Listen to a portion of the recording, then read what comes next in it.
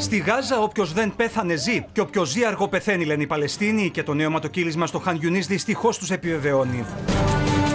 Ο καταβλισμό εκτοπισμένων εντός της ανακηρυγμένης ανθρωπιστικής ζώνης Αλμαουάση γίνεται βορρά των Ισραηλινών βομβαρδισμών. Πύραυλοι από αέρο σκορπούν θάνατο και όλεθρο. Σκηνές με οικογένειες στυλίγονται στις φλόγες. Ένα μακελιό πρωτοφανές. Ο απολογισμός αδιανόητος. At least 40 people have been killed and 60 injured in an Israeli attack in an area housing displaced people. Τα σωστικά συνεργεία σκάβουν με τα χέρια το χώμα στον τεράστιο κρατήρα που δημιουργήθηκε, αναζητώντας επιζώντες. Δυστυχώς όμως ανασύρουν μόνο σωρούς. Διαμελισμένα σώματα.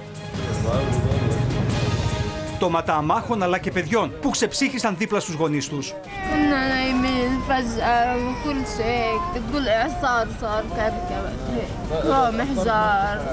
كنا نايمين فجأة وكل شيء تقول إعصار صار كركبة قام حجار Βαφτίζοντα τη σφαγή ω χτύπημα ακριβία, το Ισραήλ αναλαμβάνει την ευθύνη των βομβαρδισμών, που στόχο είχαν, όπω ισχυρίζεται, κέντρο διοίκηση που οι τρομοκράτε τη Χαμά είχαν στήσει στο χώρο. Αμφισβητεί ωστόσο το εύρο τη τραγωδία.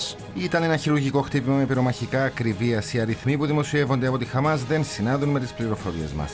هات طفلة طفلة لا بتشيل بجهات ولا بتشيلك لشمال هذه سياسة إسرائيل قتل الأطفال Εμβρόντιτος από το μακελιό και ο Αντώνιο Γκουτέρες που απευθύνει αγωνιώδεις εκκλήσεις για κατάπαυση του πυρός. In my mandate as Secretary General of the United Nations, I've never seen such a level of death and destruction as we are seeing in Gaza in the last few months.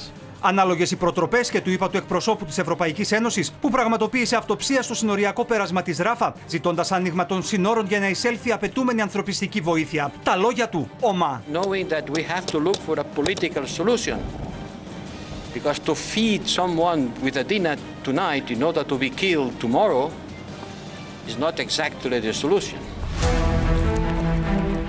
Η εκεχηρία μοιάζει με ουτοπία, καθώ οι δύο αιώνιοι εχθροί βάζουν τα φόπλακα στην νεκρή διαδικασία με νέε σκληρέ απαιτήσει. Η Χαμά ξεκαθαρίζει πω δεν πρόκειται να συμφωνήσει σε διαπραγματεύσει από το μηδέν και απειλεί. Ο Ισραηλινό Πρωθυπουργό εμποδίζει τη συμφωνία. Εάν δεν ασκηθεί πίεση στον Νετανιάχου να εφαρμόσει τα συμφωνηθέντα στο προσχέδιο Biden, οι όμοιροι δεν θα δουν το φω τη ημέρα. Ο Μπίμπι θέτει επίση κόκκινε γραμμέ και αντί για εκεχηρία μιλά για πόλεμο. נעשה הכל כדי להחזיר את החטופים וכדי לנצח במלחמה.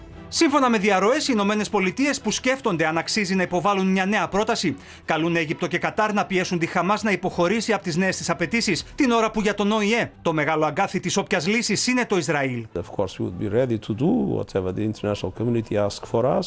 The question is whether the parties would accept it, and in particular, whether Israel would accept it.